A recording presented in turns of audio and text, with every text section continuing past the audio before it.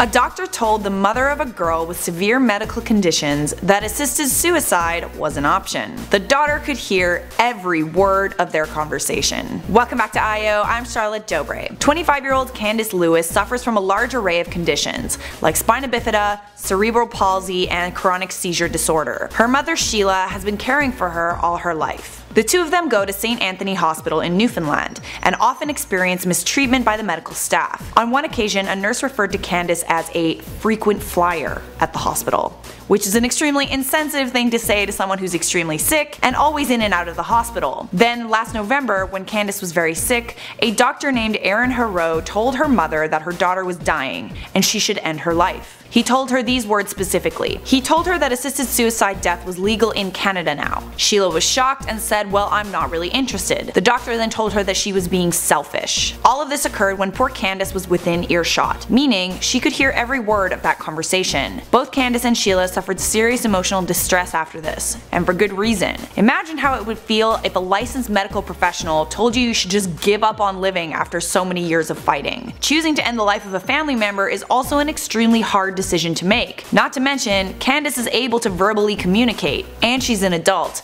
so she's the one who would have to decide if she wanted to end her own life. Now, several months later, Sheila wants a formal apology from Labrador Grenfell Health. Sheila was told that the doctor didn't intend to cause her distress, but she still believes her and her daughter deserve an apology. If you've ever had a loved one who is very sick and near the end of their life, you want to spend every moment they have left together, regardless of how sick they are or how inconvenient their hospital visits have become. According to the CBC, Labrador Grenfell Health said that it could not discuss the details of the case, but offered to arrange a meeting with her daughter's care team at her earliest convenience.